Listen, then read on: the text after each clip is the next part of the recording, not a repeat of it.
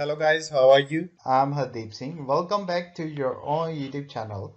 Uh, IELTS updates and recent exams. For more updates related to recent IELTS exam writing test topics, listening, reading, practice test, and speaking, got guesswork. Please guys participate in everyday listening and reading practice test to achieve your desired band score in your actual IELTS exam. Please hit the like and subscribe button. Press the bell icon for the upcoming notifications. Don't forget like, subscribe and share my YouTube channel and my Facebook page, IELTS updates and recent exams. Part 1.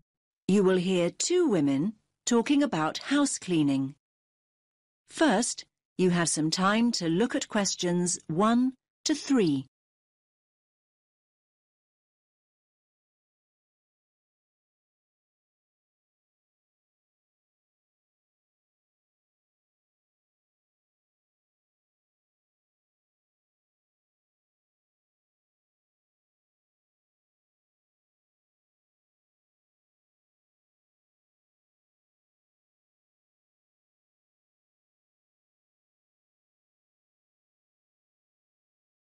Listen carefully to the first part of the conversation and answer questions 1 to 3.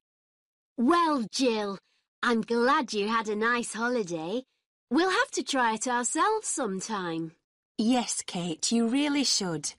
I'll give you a contact number for the hotel we stayed in. Anyway, I must be... Oh, I know what I meant to ask you. Sorry, it was about a cleaner. Oh, yes? Yes, we've been talking about getting somebody to come in and help out. You had a cleaner not long ago, didn't you?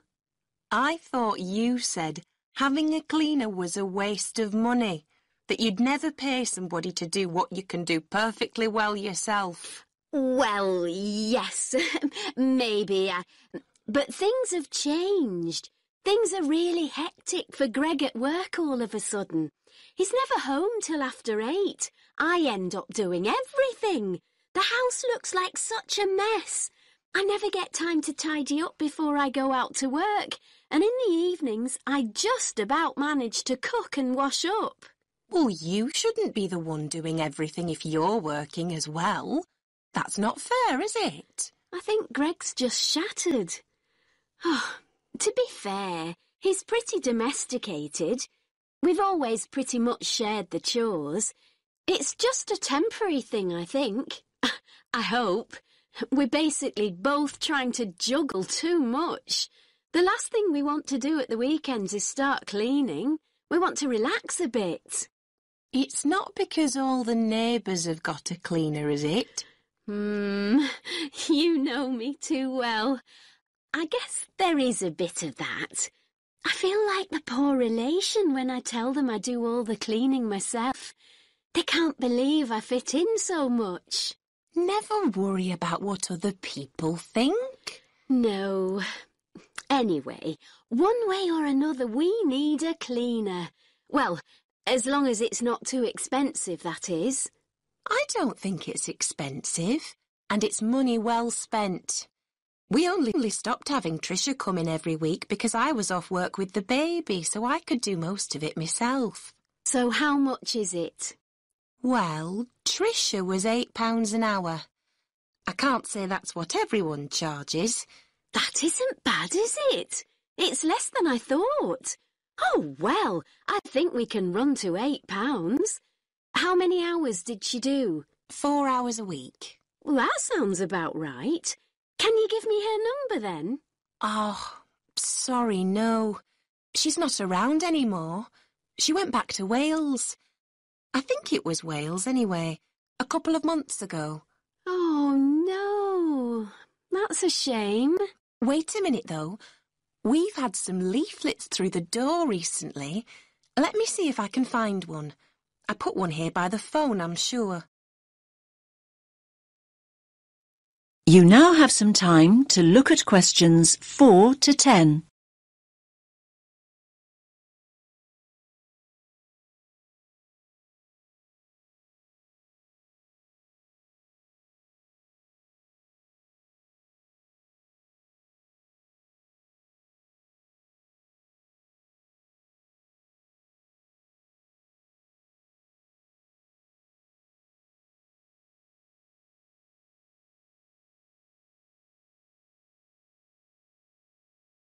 Now listen to the rest of the conversation and answer questions 4 to 10.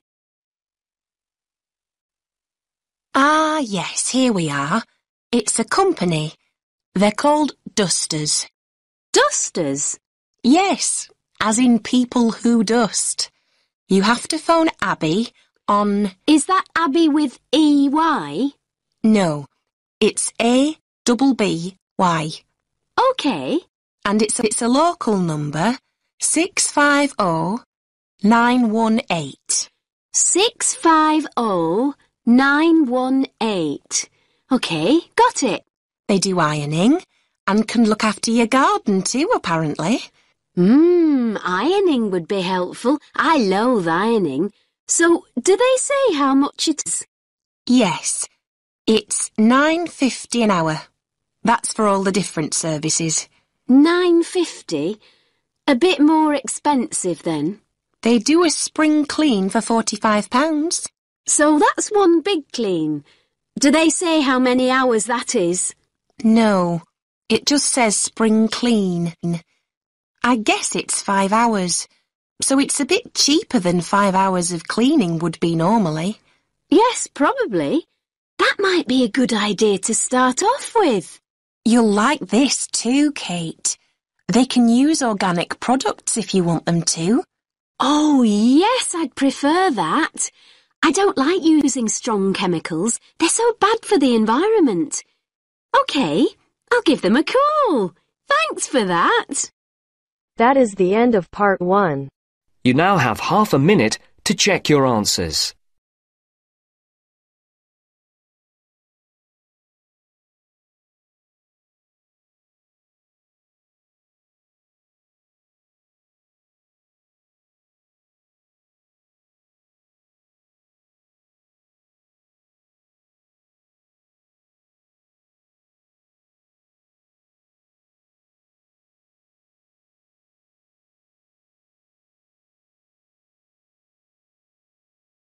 Now turns to part two.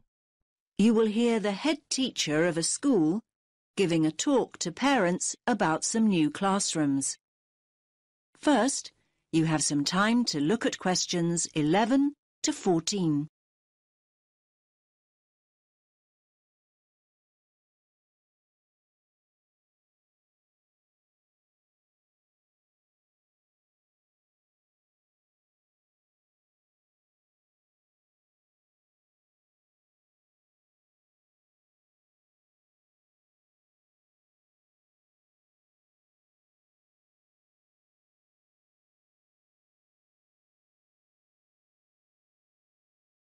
Listen carefully to the first part of the talk and answer questions 11 to 14.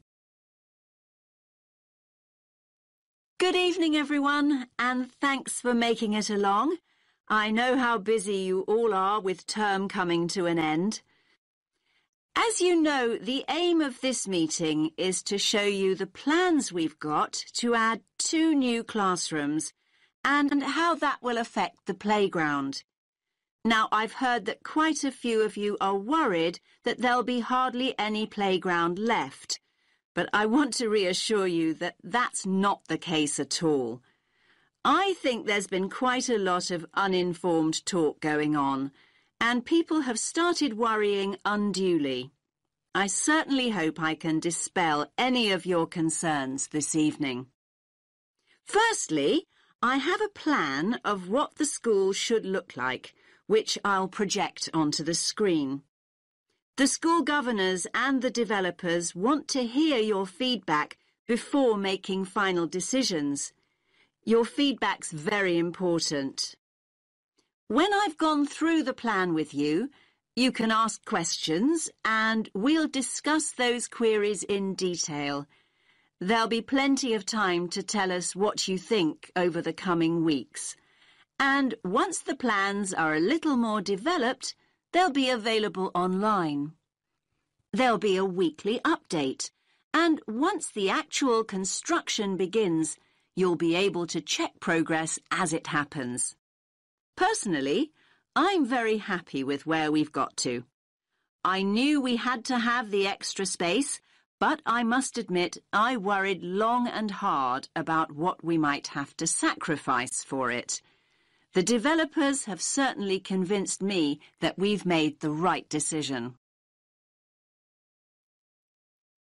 You now have some time to look at questions 15 to 20.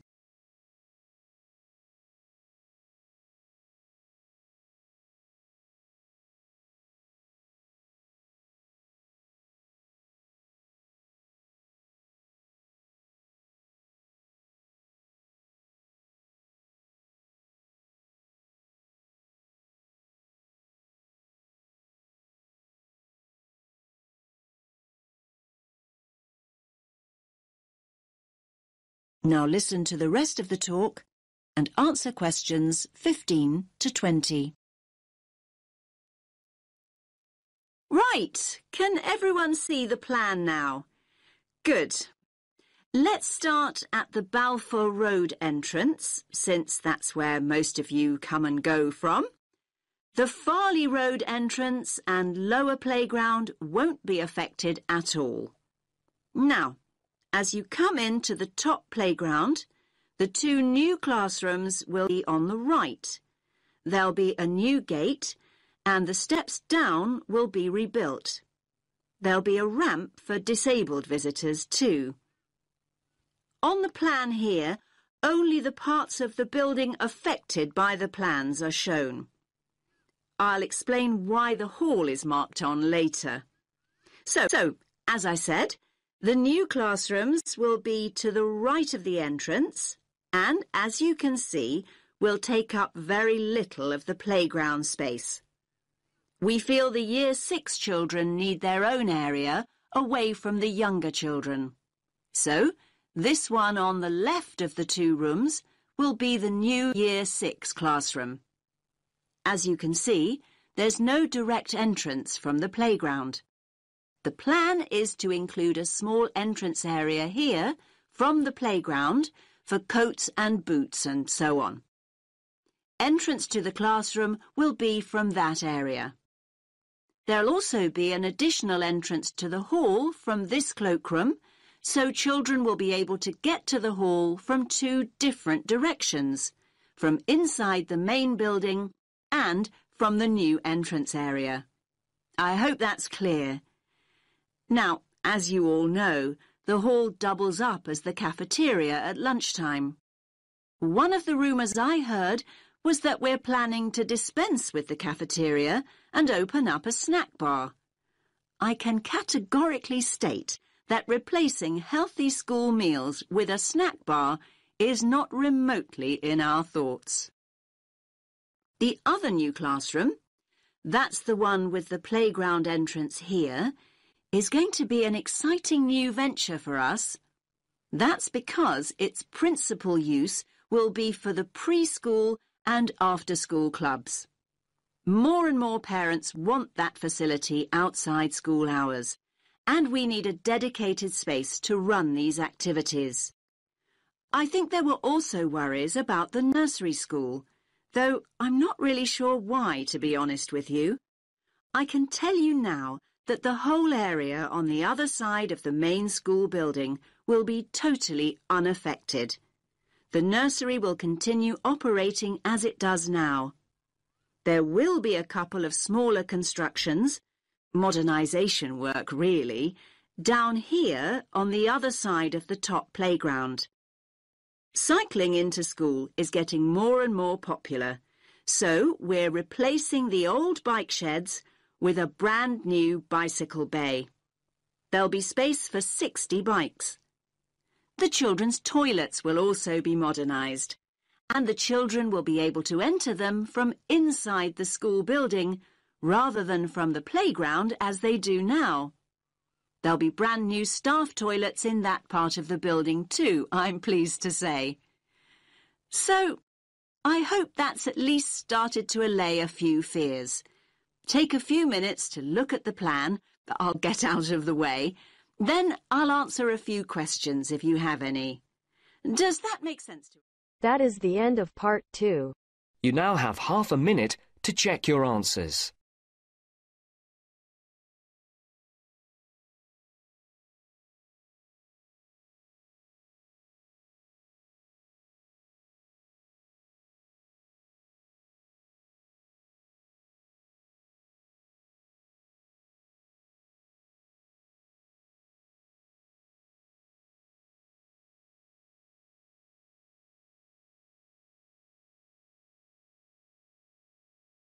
Now turns to part 3.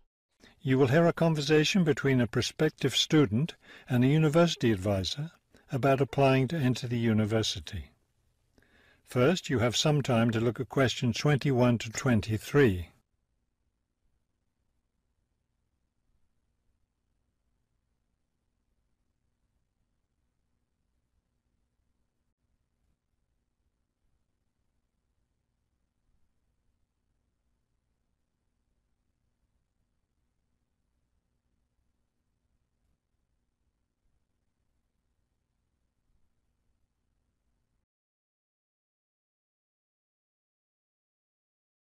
As you listen to the first part of the conversation, answer questions 21 to 23. I'm interested in entering your business administration program, and I'd like some information on how to apply. I'm a little concerned because I've been out of school for a number of years. That could actually work to your advantage. It's possible to get academic credit for work experience if that experience is related to courses in our program. I've been working in business for several years. How would I get academic credit for that? First, you'll need to read the university catalogue to see if any of the course descriptions match your specific job experience. For example, if you've worked in accounting, you may be able to get credit for an accounting course. So then what would I do? You would write a summary of your work experience, relating it to specific courses we offer. Submit that to the admissions office with a letter from your work supervisor confirming your experience. Before you hear the rest of the conversation, you have some time to look at questions 24 to 30.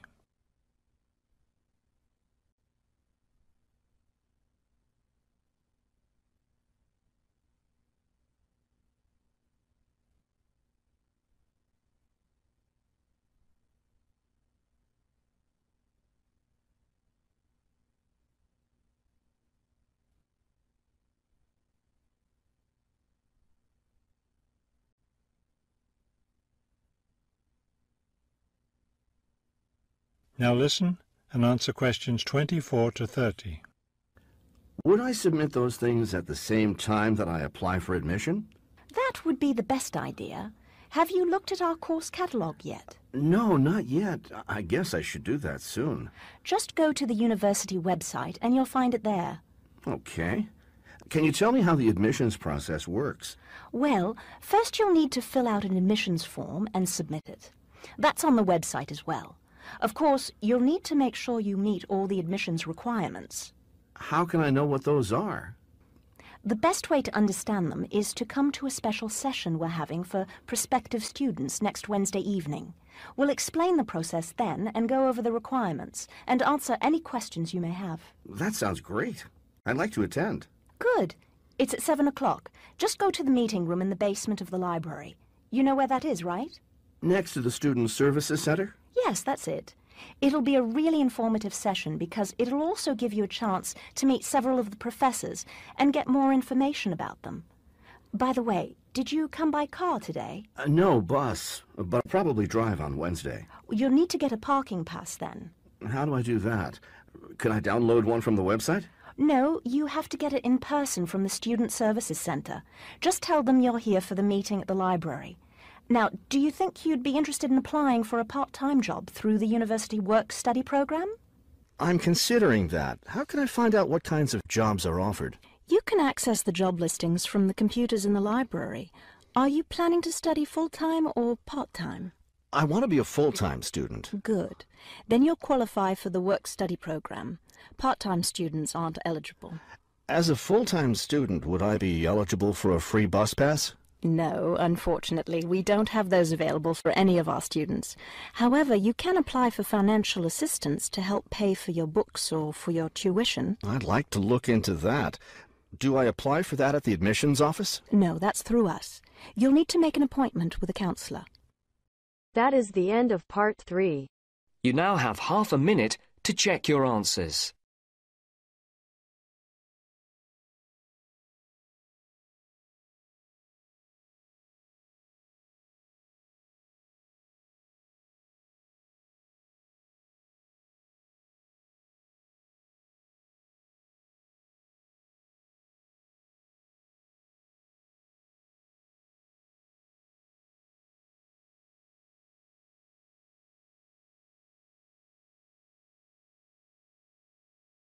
Now turns to part 4. You will hear a lecture about the black bear. First, you have some time to look at questions 31 to 40.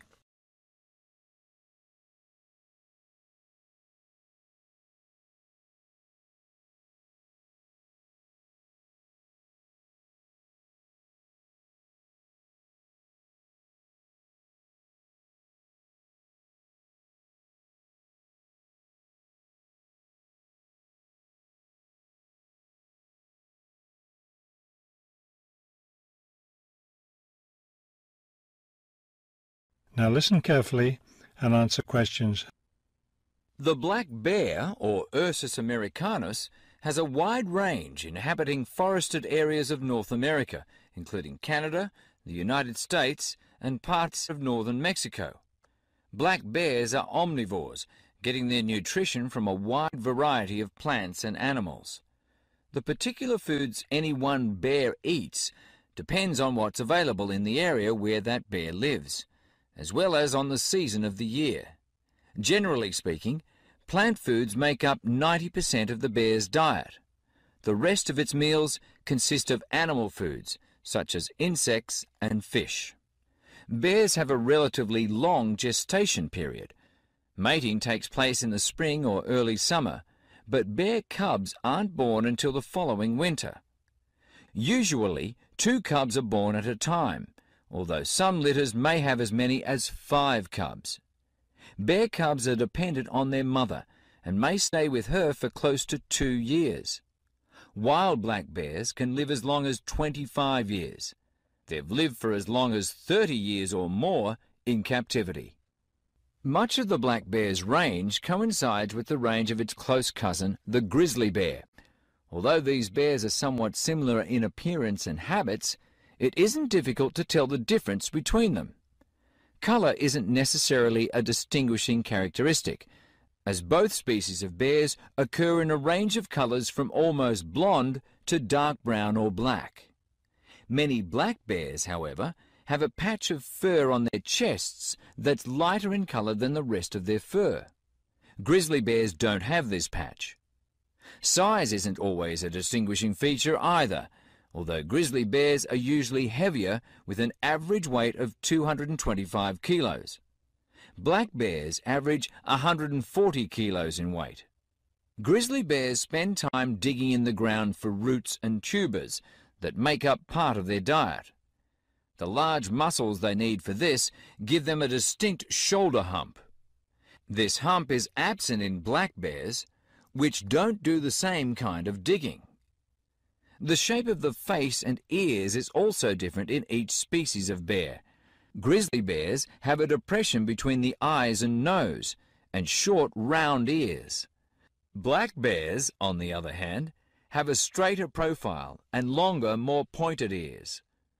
Grizzly bears are known for their fearsome, long, sharp claws.